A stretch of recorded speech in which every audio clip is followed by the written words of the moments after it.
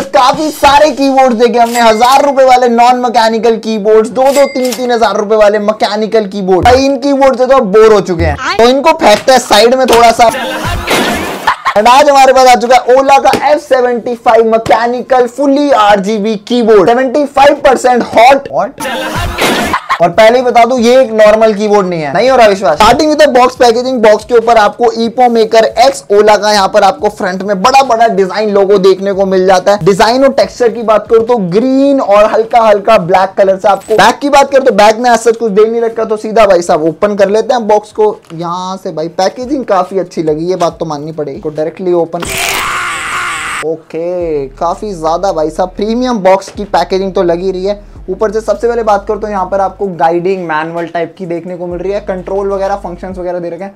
तो अभी के लिए इसको साइड करते हैं एंड उसके बाद बात करो तो भाई ये प्लास्टिक टाइप का मटेरियल इतना हार्ड रिजिड प्लास्टिक है भाई।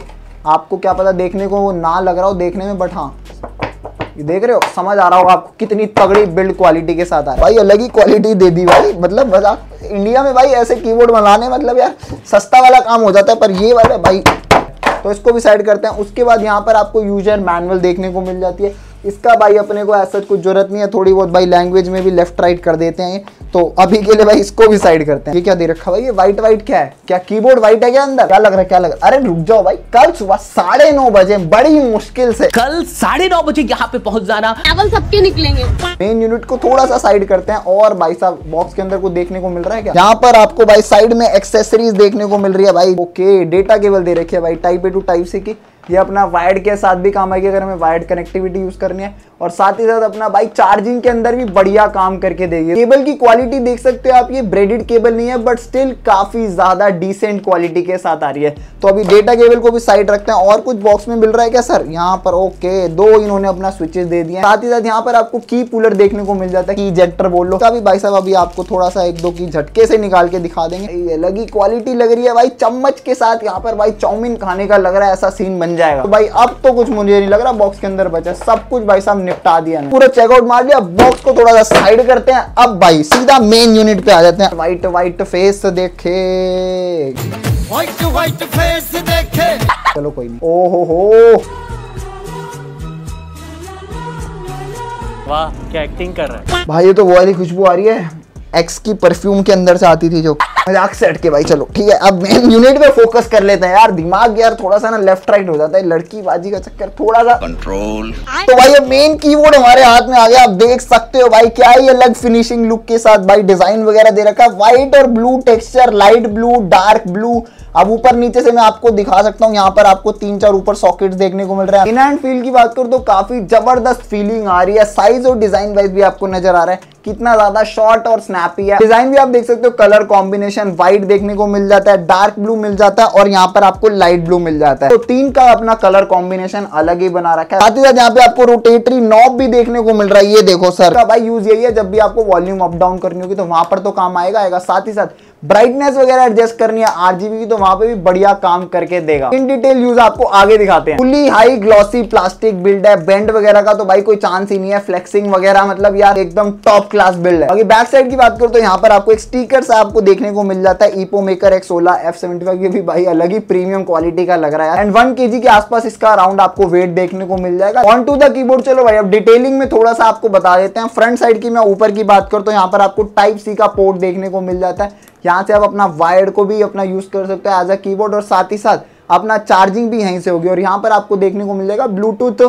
एंड बीच में आपको देखने को मिल जाता है वायर्ड ऑन ऑफ़ का बटन और यहाँ पर आपको 2.4 गीगाहर्ट्ज की फ्रीक्वेंसी के साथ आप इसको वायरलेस भी चला सकते हो। ये अपना डोंगल दे रखा है यूएसबी का। इसको आपको अपने पीसी में लगाना और वायरलेसली आपका मक्खनदार चलेगा कीबोर्ड अब डायरेक्टली इसको ऑन करके दिखा देता हूँ मैं। यहाँ पर भाई मैंने ऑन कर दिया है और लो सर यहाँ पर आपको शायद से थोड़ा बहुत नज़र आ रहा होगा भाई आरजीबी का तड़का लग चुका है सर, और आपको भाई आहा मज़ा ये लगा रहा है। बैक साइड की बात करो तो यहाँ पर आपको दो हाइट एडजस्टेबल रेजर आपको देखने को मिल जाता है, कम हाइट के लिए कम वाला एंड ज़्यादा हाइट आपको चाहिए तो थोड़ा सा भाई, लो, ये भी आप अप एंड डाउन कर सकते हो आराम से एंड रबर बिल्ड क्वालिटी के साथ आपको चारों तरफ़ देखने को मिल जाता है पैनल के अंदर।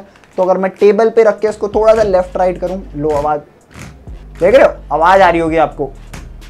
कितना ज़्यादा सॉलिड रिजिड कीबोर्ड है। मैकेनिकल कीबोर्ड है तो साउंड की बात करना तो काफ़ी ज़्यादा ज़रूरी हो जाता है। इसके अंदर अपना ओला ने अपने खुद के स्विचेस दे रखे हैं। बाकी यार अपना हॉट स्वैपेबल स्विचेज है। रेड एंड ब्लू आप इसको एडजस्ट कर सकते हो, निकाल के लगा सकते हो। बट ऐसा कुछ फ़ायदा नहीं यार बदलने का, क्योंकि सबसे बड़ा फैक्टर इसका अपना इसके स्विचेज है। अगर वही निकाल दिया तो भाई बात ही खत्म हो जाएगी। तो यहाँ पे मैं थोड़ा सा इसकी साउंड टेस्टिंग करके दिखा देता हूँ।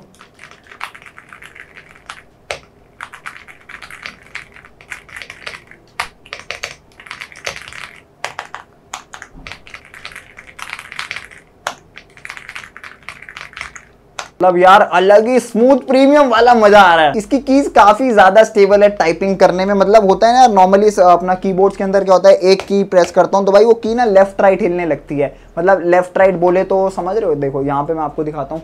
ये जैसे बी पे दबाया मैंने। सिंगल अपना काफ़ी ज़्यादा स्टेबल आपको नज़र आ रही होगी। अभी अपना स्पेस बार है। तो देख रहे हो?